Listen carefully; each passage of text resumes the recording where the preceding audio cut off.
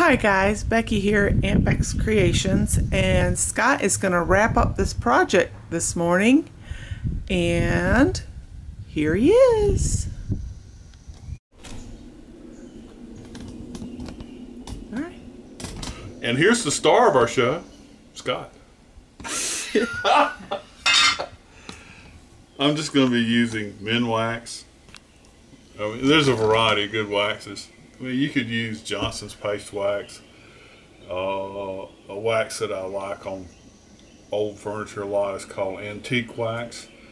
And uh, another one that's available at Ace Hardware is uh, Briwax. They're, they're all good waxes. It's- I'm not very brand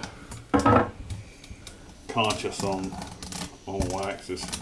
You know what what's available down the street.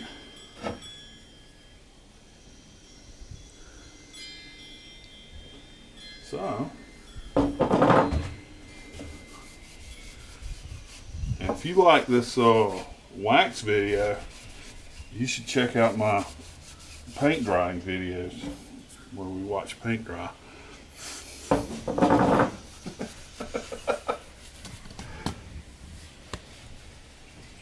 And I just put a thin coat on there and then let it flash off come back and wipe it down with a soft towel.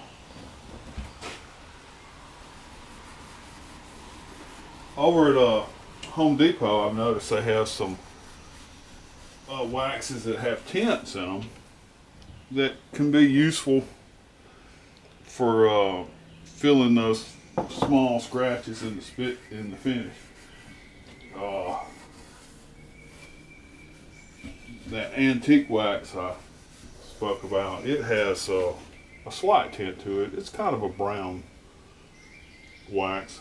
It won't help you out with a deep gouge that goes all the way through the finish, but just some light surface scratches. uh, Those tinted waxes will do a good job at helping disguise some of those little small scratches. I think I already did this one. No, I don't think so. Mhm. Maybe you did. I don't know. And the solvents in the wax take off any residual stain that's sitting on top of the finish.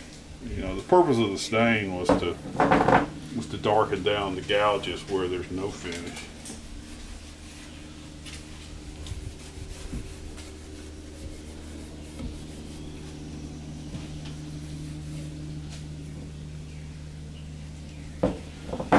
See that our calico female cat has decided to join us today. Yeah, she's laying down there on the floor. She gets she gets in moods. She has her days where she's just not fit to be around. So tell them what that what it means when you say wait for the wax to flash off. What does that mean? Because some people might not know. Well, it'll uh, the solvents will dissolve out of the wax, and it'll uh, flash over. It'll have a a uh, sort of a white look.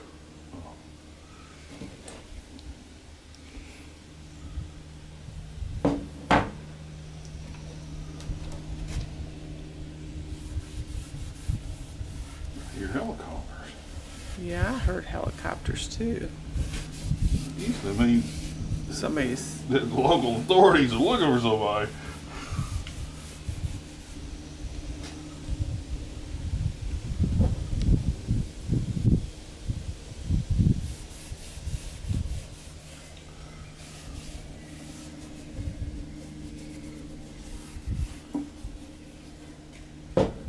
and you had spoke about you might do two coats of this, so you would like Yeah. put it on and then buff it Buff it and then do another and then do it ag- again. Yeah, it just depends on how how it turns out.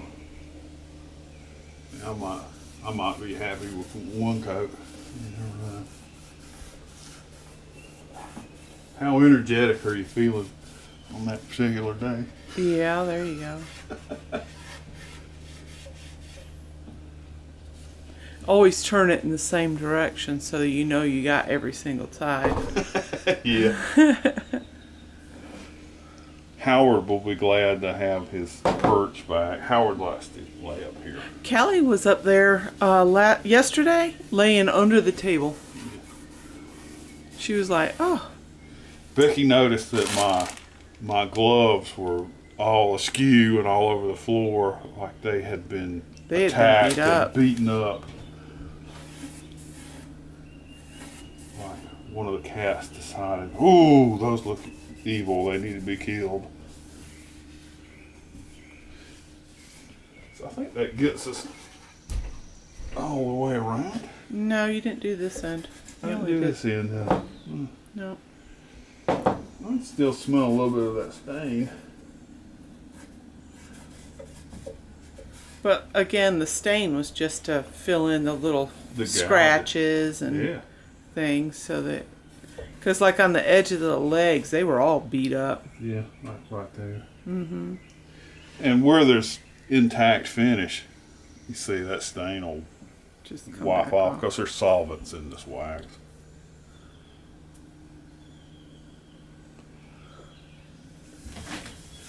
You could even use car wax if you wanted to. Well, crafters, we have a, a wax called Daddy Van's, and it's scented with stuff like lavender and stuff like that. That antique wax, it has a spicy smell to it. That makes me want to go in the kitchen and bake something. Oh,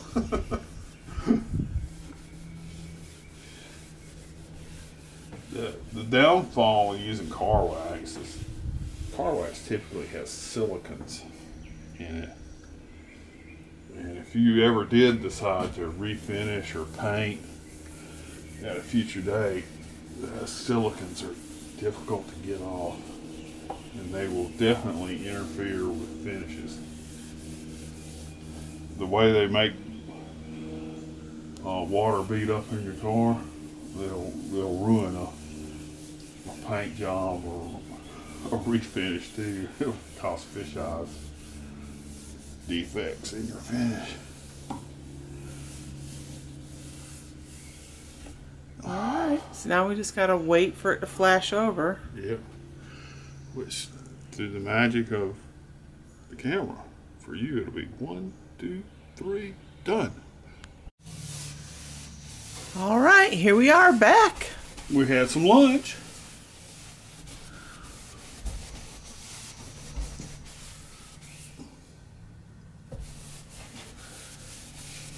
So now I'm just buffing the wax off.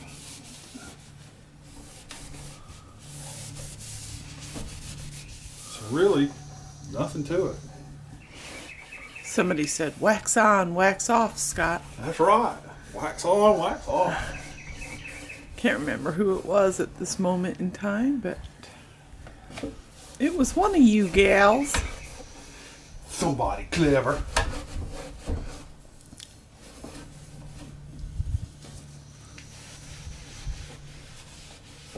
So I think we paid somewhere around five dollars for the table. It, Yeah, it it was. wasn't much, and it was all loose and everything. And he took it apart and he put it fresh glue and screws on it and firmed it up, and then he's cleaned it and added some stain and final is uh, waxing and putting it to use. That's right. He got this for the a printer to sit on. It's kind of the perfect size for a printer. Yes, it is. So you know what? For what little I paid for it, and a little bit of elbow grease, I'm pretty happy.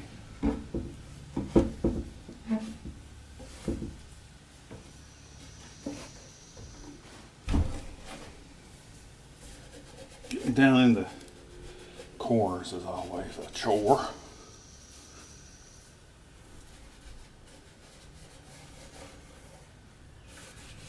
I gotta go to work here shortly. I know. That's why I said we better go and polish it a bit. See what what we get. So, it's not perfect. I didn't expect it to be perfect, but it's a little better. It's a little more presentable. So I think that wraps this up. All right. Polishes it off. Polishes it off. Polished off this project. Thanks for watching, guys. Stay tuned for more projects with Scott Does It. Bye.